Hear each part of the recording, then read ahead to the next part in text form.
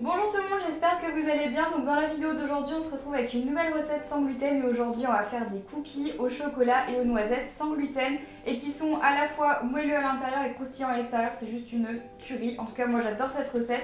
J'espère qu'elle va vous plaire. C'est pas très compliqué à faire. Je vous montre les ingrédients tout de suite. Donc tout d'abord on a besoin de 170 g de farine sans gluten, donc soit vous prenez un mix déjà tout préparé ou alors vous prenez de la farine de riz, de la farine de châtaigne, en tout cas tout ce qui n'est pas de farine de blé. Ensuite on va avoir besoin de petits euh, copeaux de chocolat puisque bien évidemment on ne peut pas faire de cookies sans ça. Si vous n'en avez pas vous pouvez très bien prendre des carreaux de chocolat que vous cassez vous-même. On va avoir besoin de noisettes.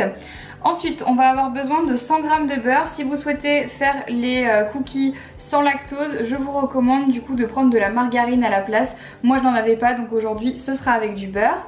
Ensuite, on a besoin de 50 g de poudre d'amande qui va vraiment permettre aux cookies de rester très très moelleux. Ensuite, on a besoin d'une cuillère à soupe d'extrait de vanille, un œuf, un demi-paquet euh, de levure sans gluten, bien évidemment, sinon ça ne marche pas. Ensuite, on a besoin de 80 g de sucre brun, ici c'est de la cassonade, 80 g de sucre blanc et ensuite un demi-sachet de euh, sucre vanillé. Donc voilà pour les ingrédients. Donc aujourd'hui j'utilise mon robot mixeur comme d'habitude parce que pour moi c'est plus facile mais si jamais vous n'en avez pas sachez que cette recette est entièrement faisable tranquillement à la main sans se stresser, sans quoi que ce soit. Donc première étape, dans mon robot, je viens tout d'abord casser mon œuf auquel je vais rajouter le sucre. Donc à la fois le sucre roux, donc le sucre brun on va dire, hop, la cassonade que je mets à l'intérieur. Je rajoute également le sucre blanc et je n'oublie pas le sucre vanillé. Hop, voilà, on a déjà trois ingrédients en moins et ensuite on commence à mélanger. Quand la mixture est à peu près pas mal et plutôt homogène, on va maintenant venir rajouter la poudre d'amande, la farine et la levure. Donc je vais commencer par mettre dans un premier temps la poudre d'amande que je mets entièrement. Et ensuite je vais rajouter la farine. Et bien évidemment on n'oublie pas la levure. Voilà, et maintenant pareil, on remélange.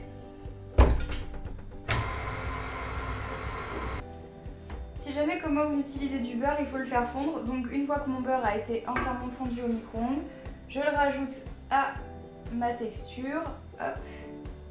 Je n'oublie pas du coup d'ajouter l'extrait de vanille.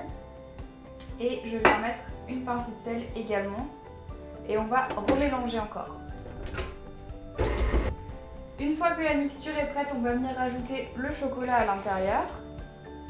Et en ce qui concerne les noisettes, ce que je vais faire, c'est prendre un petit sac, vous savez, de congélation comme ça, tout bête. Je vais venir mettre les noisettes à l'intérieur. J'enlève l'air. Et avec un rouleau à pâtisserie ou avec ce que vous avez vraiment, euh, genre typiquement un marteau si vous en avez à la maison, et je rigole pas quand je dis ça, on va venir casser les noisettes. Du coup, maintenant que les noisettes sont cassées, on va pouvoir les ajouter à euh, la mixture. Hop.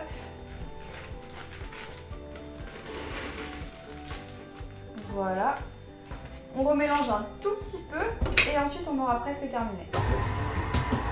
Donc maintenant que la pâte est à peu près prête, ce qu'on va faire c'est qu'on va venir l'enlever du bol dans lequel elle est pour l'instant pour la rouler en boule et la mettre dans un autre bol et ensuite on va la laisser refroidir au frigo pendant environ une heure histoire qu'elle prenne bien une texture un peu plus dure et que ça soit beaucoup plus facile ensuite de venir faire des petites boules pour faire les cookies. Donc une fois que j'ai bien raclé toute la pâte, je vais venir tout simplement mettre un petit torchon dessus. Hop. Et je vais la mettre pendant une heure euh, dans mon frigo. Et puis ensuite, quand on la ressortira, je vous montrerai le reste de la recette. On se retrouve maintenant donc une heure plus tard, j'ai sorti ma pâte du frigo et je vais utiliser une petite plaque à cookies. Euh, je vais en utiliser même deux parce que je pense que là je vais pouvoir en faire facilement euh, deux plaques. Donc vous pouvez utiliser soit une plaque à cookies, soit tout simplement un petit plat en silicone que je vous montrerai juste après.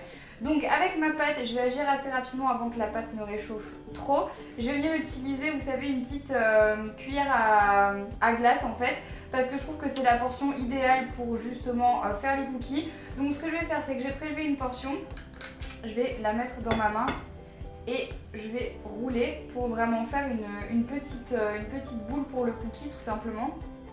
Hop, donc pensez à bien vous laver les mains quand même avant, hein. c'est assez important parce que vous allez manipuler euh, de la nourriture, donc on se lave les mains.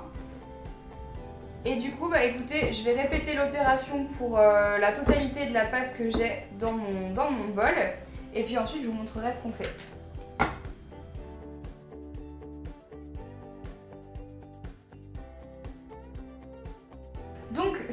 Fait, maintenant tout simplement on va les enfourner euh, dans mon four du coup à 200 degrés Celsius entre 8 et 10 minutes, gros gros gros maximum, euh, vous verrez pourquoi après, donc on y va.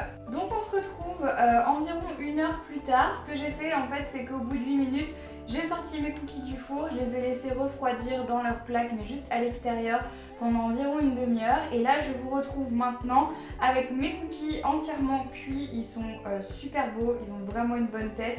Alors du coup ceux qui étaient un tout petit peu plus en haut, comme vous pouvez voir, ont pris un petit peu plus de coloration, les autres sont restés un peu plus blancs, mais ça c'est comme vous voulez, moi je sais que je les aime beaucoup comme ça. Donc bah, écoutez voilà cette vidéo est terminée, j'espère vraiment qu'elle vous plaît, ces cookies sont absolument fabuleux parce qu'en fait ils sont vraiment croustillants à l'extérieur et à l'intérieur ils sont juste super fondants. Donc encore une fois, j'espère vraiment que vous allez être super nombreuses et nombreux à reproduire cette recette. N'hésitez pas à me dire dans les commentaires ou euh, en likant cette vidéo que vous voulez tout simplement voir de nouvelles recettes sans gluten et euh, sans lactose du coup, puisque c'est vrai que si on n'utilise pas de beurre pour cette recette, c'est également une recette sans lactose. Si jamais vous la reproduisez, n'hésitez pas à me la partager avec le hashtag EnjoyCooking. Et sur ce, bah écoutez, je vous embrasse très très fort et puis je vous dis à très bientôt. Bye bye